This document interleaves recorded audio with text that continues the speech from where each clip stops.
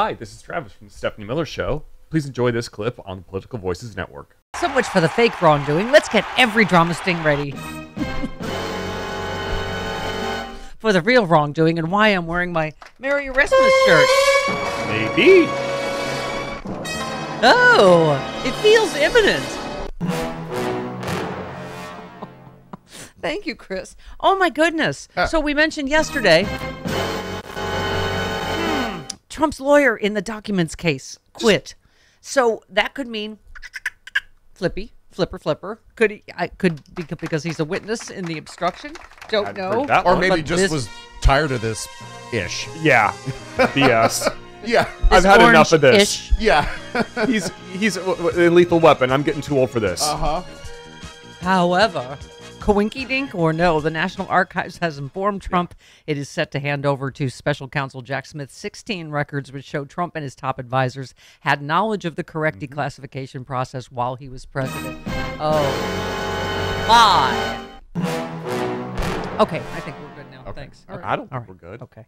The 16 records in question, the letter said, all reflect communications involving close presidential advisors, some of them directed uh, to you personally concerning whether, why, and how you should declassify certain classified records. Uh, the 16 records may provide critical evidence establishing the former president's awareness of the declassification process, a key part of the criminal investigation into his mishandling of classified documents. Um, helpfully, because he is such a helper. He really is a legal helper. At the CNN town hall last week, he repeated the claim that by simply removing the classified documents from the White House, he had declassified them. You know, magically. No, that's not yeah, how it works. and some doves came out Yeah. and some colorful scarves. Yeah.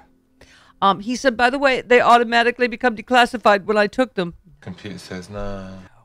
Trump tried to block the special counsel from accessing the uh, 16 records by asserting a claim of constitutionally based privilege, which is not a thing. no. Not a thing.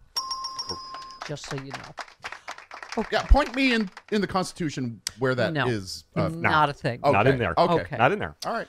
Um, in the CNN town hall last week, helper, legal helper. He's is. almost like a paralegal at this point. Yeah.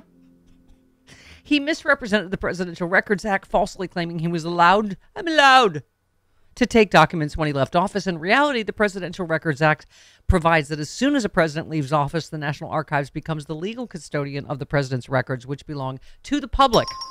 I had every right under the Presidential Records Act. He said, You have the Presidential Records Act where I, I was there and I took what I took and it gets declassified. Nope. That seems very, very helpful mm-hmm. legally. Works. Yeah. That's so at least there was some point of that CNN show, right? Why it's a good idea to Wow. not let your criminal defendant do a national. In that sense, thank you, CNN, for your horrible judgment, which has backfired disastrously on you. Nothing worse than their judgment is his judgment and what he said. At least Jim Jordan's whistleblowers are solid. Uh oh. Oh no. No. Have more gone missing? I'm feeling I'm feeling justicey today. Yeah. Erik Prince, wasn't he just indicted over Yeah, I saw that somewhere that tweet. I, uh, arms Wait a minute, dealing something Wasn't that over in- Blackwater's CEO? Yes. Be- And, Betsy, uh, Be- Betsy, DeVos's DeVos's brother. brother. Yes. We got He got was indicted? a lot of Democratic And he was also the one that was in the Maldives, remember? Oh yeah. A lot of Doing what? Democratic In the wins. Trump Russia stuff. He was like Oh. he was in the Maldives meeting with Russians. New mayor of uh, Jacksonville. A lot of Democratic wins. Oh, and this uh, 17, please. Speaking of being a helper, Trump wrote, this wrote a campaign already ad for this us. is already in ads. First of all, I'm the one that got rid of Roe v. Wade, and everybody said that was an impossible thing to do. right. I put on three Supreme Court justices. Very few people have been, Uh-huh. had that privilege or honor. Fantastic. Thank you for that. That's already been used in ads. All we need. Yep. That's the first and You're last correct. campaign That ad is we'll need. wildly top popular. Roe v. Wade being overturned. Let me tell you what. Even Nancy Mace isn't on board with that. I feel like, do we deserve all this good luck? I don't know. Jim Jordan. I mean, of, I mean, does, does this shock you at all? Okay. no. The Republican controlled House Judiciary Committee is set to hear testimony from a pair of FBI whistleblowers. Remember? He's- oh yeah. So many. Oh, sure. The ones These- that are, have, these, these are- aren't missing. No, not the missing ones. these ones. aren't the missing ones. So- sadly. So we know where these they, are. They probably wish these would go missing. Um, the ones that allege misconduct at the agency, it turns out, according to a letter sent to the committee, those two individuals recently had their security clearances revoked. Both agents specifically lost their clearance in part because of their sympathies for the perpetrators of the January 6th attack. Let's see. One of them, the investigation concluded Friend, that's one of the guys, Stephen Friend, yeah, uh, presented a number of security concerns related to his personnel, personal conduct, handling of protected information, use of information technology. According uh, among Friend's, troubling conduct is reportedly promoting conspiracy theories about the January 6th attack. Allen, the other one, meanwhile, had his clearance revoked because of concerns about quote his allegiance to the United States. That seems bad. Right. Yeah. Uh, because he failed to provide relevant information to an FBI special agent regarding subjects who allegedly were involved in the criminal activity at the Capitol on January 6th. Nicely done, Jim Jordan. So let me get this straight. Let's review. Some whistleblowers, I don't know, informants just gone missing down near Brainerd, and uh, these have no security clearance because they're such, I don't know, Traitors? traitor slash just call 'em conspiracy theorists slash nutbags. Nutbags. That's a good Okay. one. I All like right. nutbag. All right. Okay. All right.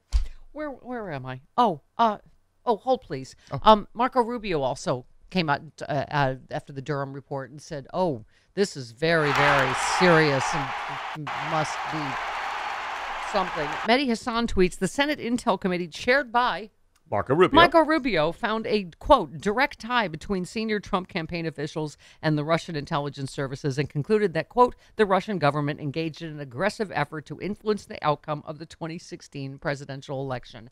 Thank you. Do they think seriously that we've all been struck in the head and have short term that we don't remember all the convictions and people who went to jail for colluding with Russia, Paul Manafort giving the Russians polling data on the three swing states We have records of all of that. Okay. Yes, that Michael Cohen lied about Yeah. that they were working on Trump Tower, uh, Moscow. It's all in the in the records. They- yes. Thank you. I mean, I just think they've repressed those memories because Donald Trump was that scarring to them. they're dumb. That too. Oh God, is this wait? Does the good the hits just keep on coming? Huh? Special counsel calls for tapes that implicate Ted Cruz in attempts to delay Biden's certification. That was last month. Okay, but I just I feel like oh the other things these 16 records I believe some of them Lordy are tapes. Some of them are not just documents; they're Oh. actual recordings. Oh goodness Yes. gracious! Does he throw a ketchup bottle in the background when he's told he can't have them? No. Um, Andrew. Oops. Andrew, I bet you they've replaced everything with packets. I bet you they Yes. just told him they don't make bottles Or squeezy anymore. bottles. They don't make bottles. Squeezy anymore. the, the plastic squeezy bottles that you sit upside down. Yeah. I just like him just with like a million little packets, just trying to pelting the wall. I kind of like the plastic bottles bouncing off people's heads. Andrew Weissmann with a very good point on the Twitters. He says uh, MAGA says the FBI is anti-Trump, which ignores that the FBI engaged in a public criminal investigation of Hillary Clinton and repeatedly denigrated her, whereas it stayed quiet as a church mouse regarding a Trump investigation during the 2016 election. Facts uh, are a stubborn thing. Thank you. Again, do they think we're I I- okay?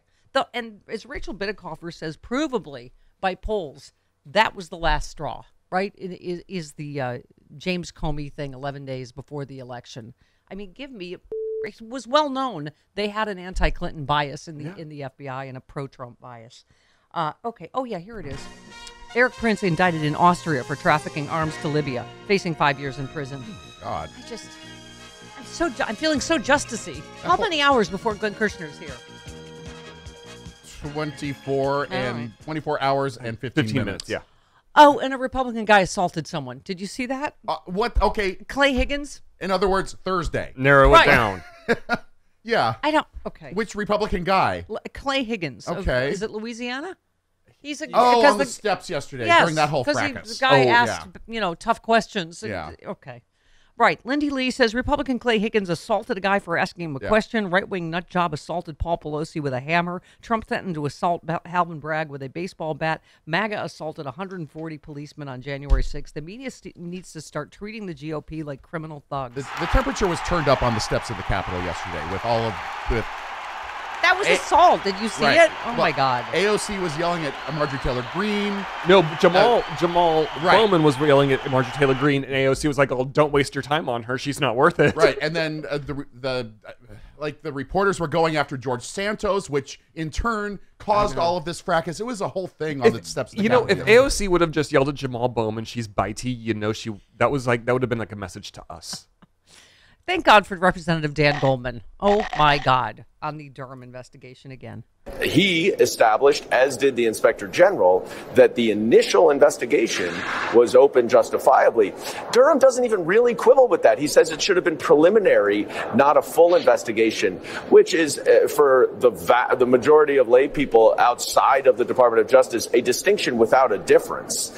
And so it is a, a, a real abomination. And the fact that he wastes 300 pages on this, including so much about the Steele dossier, uh, which the inspector general had also addressed addressed uh, is just goes to show how political this is. And it's almost as if the Republicans had their talking points written before the report came out and they ever saw it.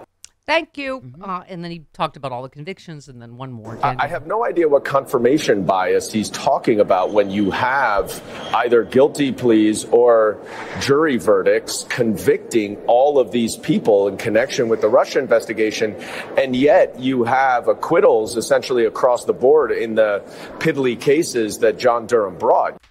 Yeah, thank you. Oh, I forgot one more.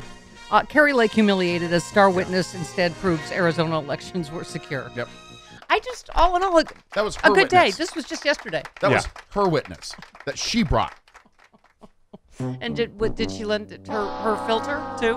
No, nobody No? was filtered in that courtroom. No? Kari Lake is not good at No, this. yeah, and Kari Oh Lake dear. looked, looked oh horrible. dear. Oh dear. Kari look like a Kari Lake. Yeah, I mean, you should. I mean, you should see Kari Lake was- without a filter. The witness was as reliable as a as a uh, Jim Jordan witness, whistleblower.